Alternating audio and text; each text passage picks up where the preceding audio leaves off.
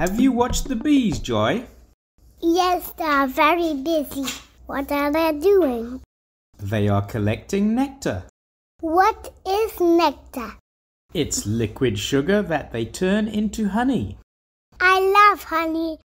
Yes, honeybees make honey, so do bumblebees. What is a bumblebee? It's the big bees with the low humming sound. Bzzz. There's lots of bumblebees on these flowers. And honeybees too, all making honey. My favorite is chestnut honey. It's yummy.